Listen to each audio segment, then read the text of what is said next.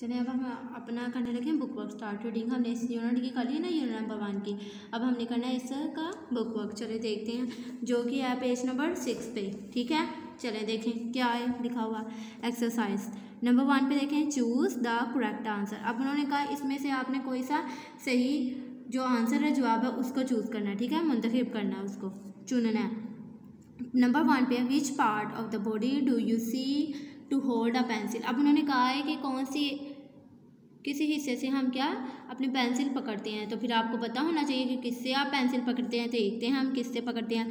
Fingers fingers कहते हैं उंगलियों को। नेल्स नाखनों को कहते हैं। टोस ये पाँव के अंगूठों को कहते हैं। और एल्बोस आपको पता है किसको कहते हैं? कोहनी को कहते हैं। तो किससे आप पेंसिल पकड़ते हैं पकड़ते हैं? आपको पता है किससे पकड़ते हैं? फिंगर से।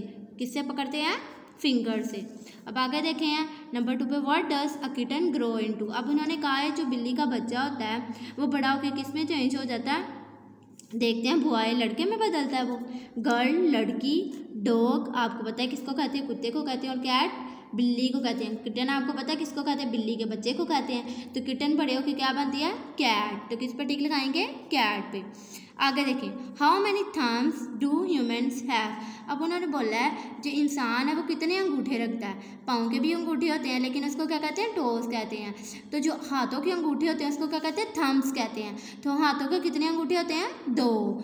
तो अब देखते हैं इधर कितने लिखे हैं? वन टू थ्री फोर तो हमने किस पे लगाना टिक।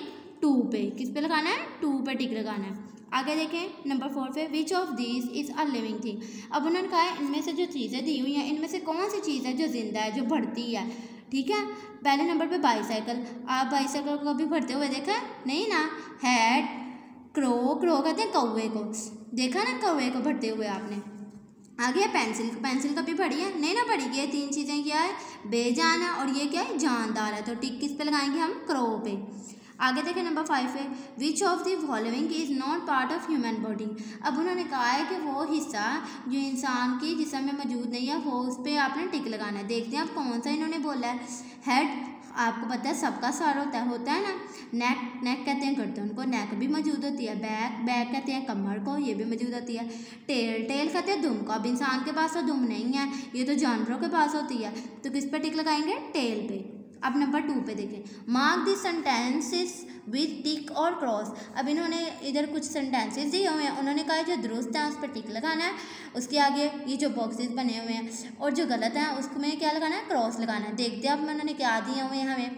नंबर वन पे all living all human beings began life as babies उन्हें कहा, जो तमाम ज़िंदा जानदार मतलब इंसान है ना जो, वो पहले क्या होते हैं? बच्चे होते हैं, आपको पता है? सब पहले बच्चे होते हैं।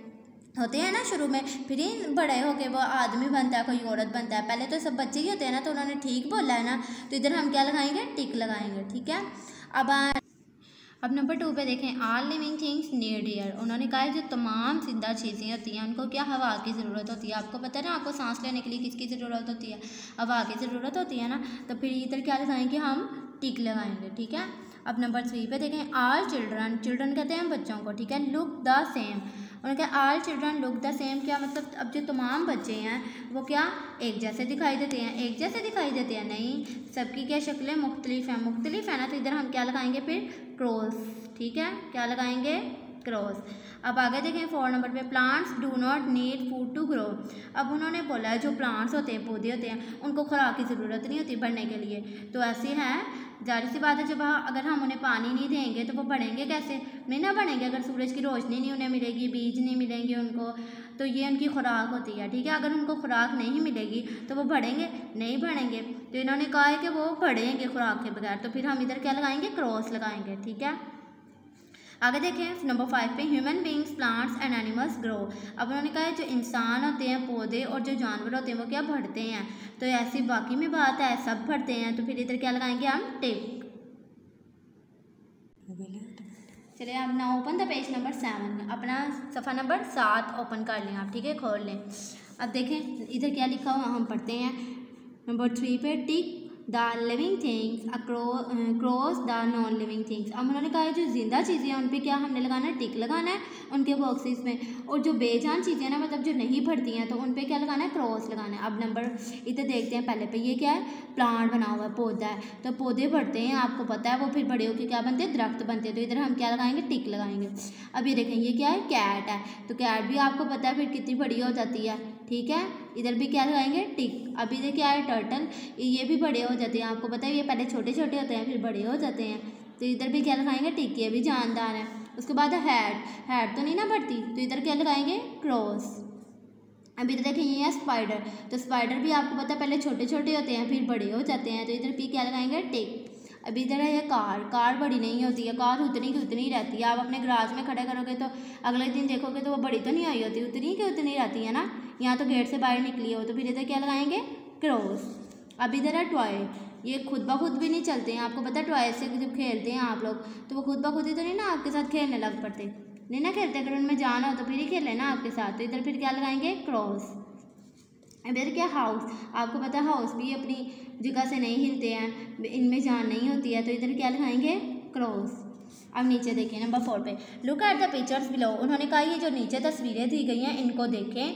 Circle the part of the body that is being used for each action अब उन्होंने कहा, बोला कि उस, वो जो पार्ट ऑफ़ बॉडी है ना, कि उस जिसम के हिस्से को आपने क्या करना है? सर्कल करना है, जिसको वो किसी काम के लिए यूज़ कर रहे हैं मतलब जिससे एक्शन कर रहे हैं, कोई अमल कर रहे हैं। ठीक है, तब हम पहले देखते हैं ये क्या लड़का क्या कर रहा है? कंप्यूटर पे बैठा हुआ है, लैपटॉप चला रहा है, ठीक है? किससे चला रहा है?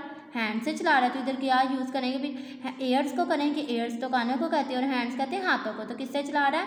हाथों से। तो हैंड्स को क्या करेंगे? सर्कल अब दूसरे नंबर पे देखें। आइस और इधर है एयर्स अब लड़का क्या कर रहा है? हेडसेट लगाया हुआ है उसने हेडसेट तो क्या कर रहा है? वो कुछ ना कुछ सुन रहा है। तो किससे सुन रहा है? एयर्स से सुन रहा है ना? आइस से तो नहीं ना सुन रहा?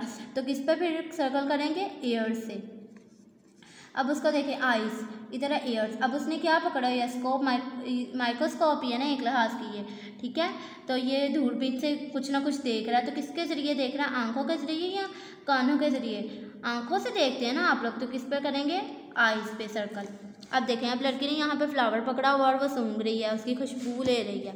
तो किससे ले रही है? अपने मुँह से ले रही है कि ये नाक से सूंघ रही है? नाक से ना तो फिर किसको करेंगे? नोज़ को माउथ को नहीं करेंगे। अब देखें, अब ये लड़का बैठा हुआ है। कैसे बैठा हुआ है? नोज़ के ज़रिए बैठा हुआ है कि नीज नीज कहते हैं ये घुटनों को। तो किसके ऊपर बैठा हुआ है? नीज पे।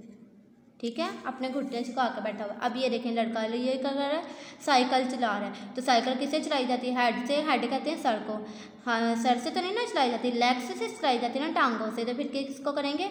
लेग्स को सर्कल करेंगे। अब ये देखें, यहाँ पे लड़की कुछ ना खा रही है। तो जब आप भी खाते हैं तो आपको पता है, आप किससे खाते हैं? एयर से तो नहीं ना खाते? माउथ से खाते हैं ना? तो इसको क्या करेंगे?